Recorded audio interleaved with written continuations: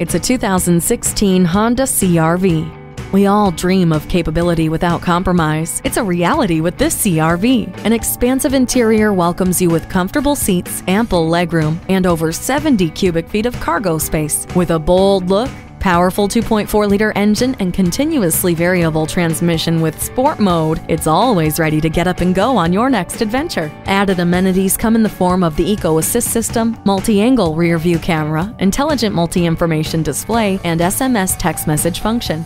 Enjoy the hands-off ease of rear door operation with the power liftgate. Never feel lost again with the navigation system. See objects previously out of sight with the rear view camera.